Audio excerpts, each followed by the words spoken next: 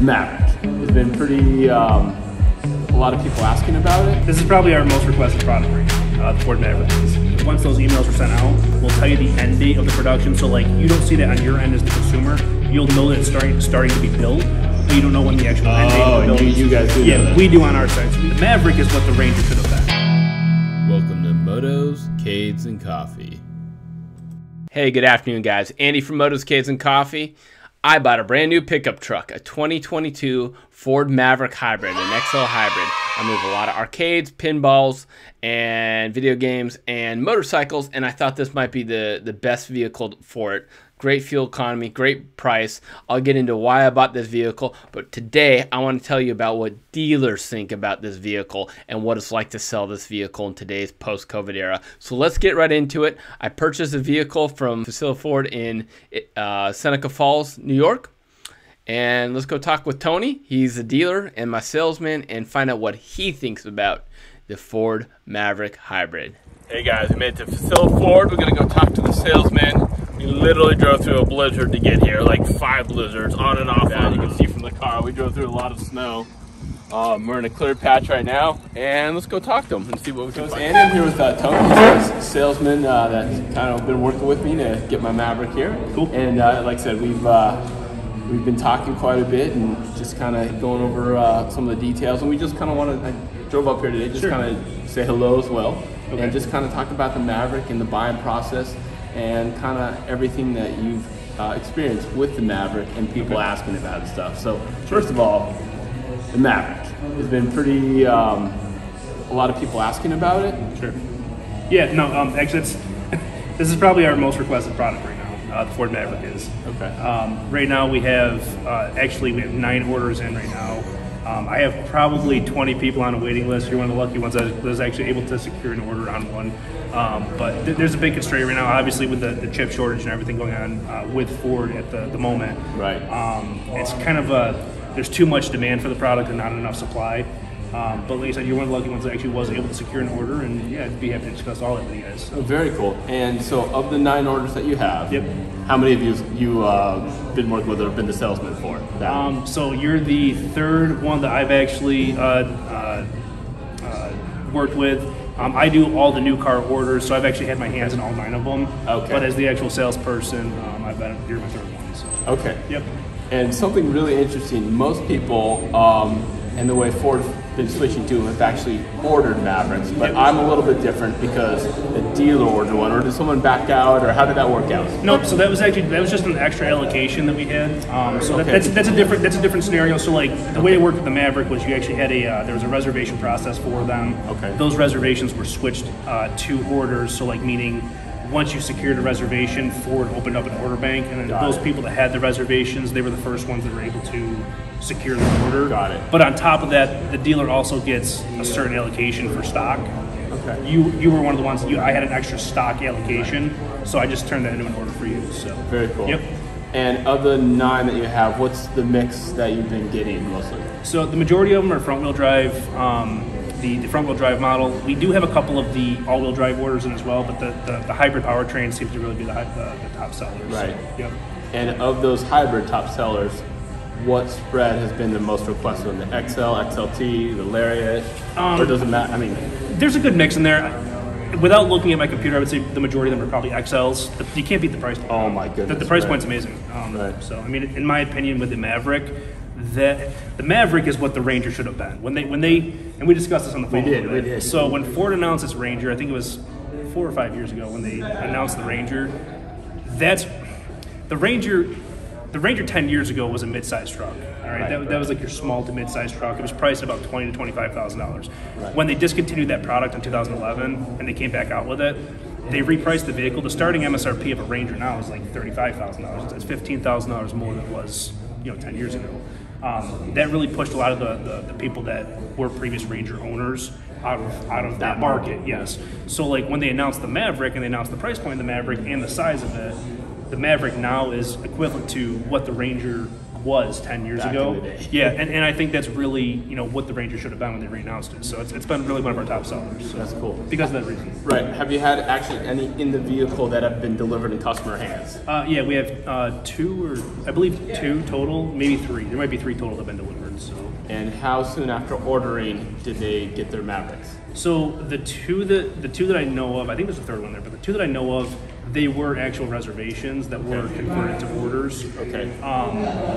But the turnaround on that at the time frame when the reservation went live was about I want to say it was about five months. Right now, there's there's a lot of moving parts um, with the chip shortage that's not ending, um, and then all this crazy stuff that's going on in Russia Right, and with right. Taiwan and stuff right now. Right. Um, that is pushing things out a little bit. Okay. Um, but I would say the average turnaround time for a, a person that places an order fresh out of the fresh out of the gate, the average turnaround time realistically is probably closer to six to eight months. Your time frame, I think, is gonna be much shorter than that. So mine I ordered in December of 2021. It is now March, mid-March 2021, 2022. What are you thinking for time frame? I would I would expect yours to be here sometime in June, possibly July. Okay. Yep.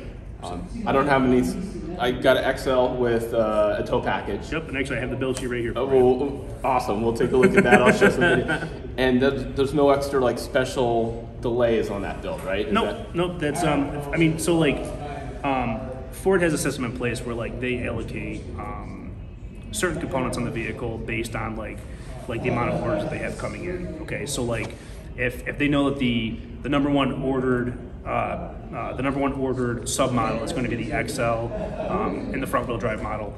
Um, they they actually have like an internal system that tells them like how many of those orders in place, and they allocate the parts and stuff uh, uh, according to that. So like they'll push the majority of the builds to that submodel. So like yours being, I, I definitely think like yours being the, the Maverick, the front wheel drive. Um, I, I do think yours will be one of the first ones produced. So, Okay. Yep. Okay. So now, if it was a funky one, say it was like it was something funky like a, uh, uh, a Lariat, um, all-wheel drive. That's a forty. Orange or something. Yeah, yeah, that, that, that would be like that'd be like a forty thousand dollar build, thirty-five, forty thousand dollar build. Um, that's gonna be like one of the ones that's like, you know, not as desirable. So that order typically will be pushed out a little further. So, Okay. yep.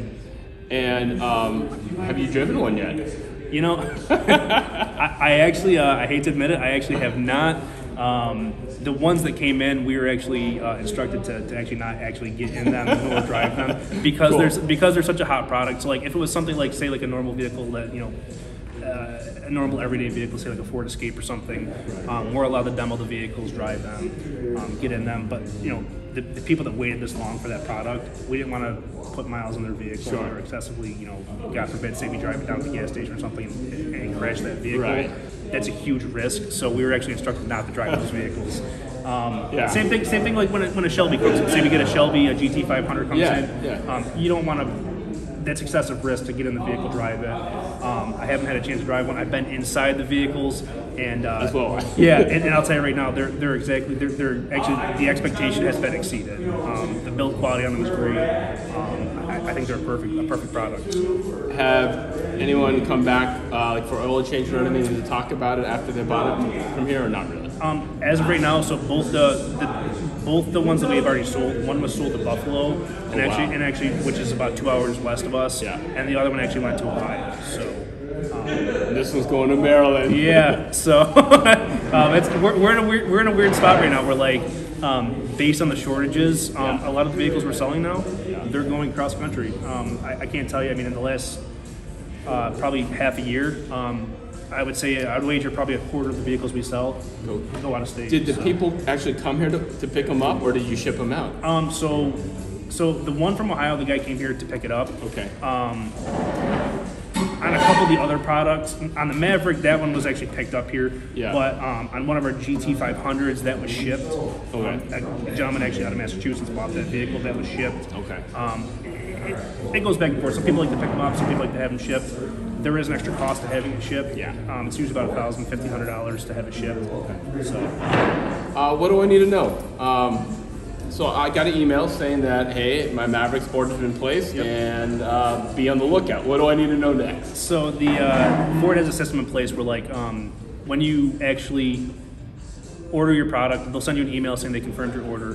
When the vehicle actually starts production, you'll get another email that says that hey, we've started production Okay. on your on your product.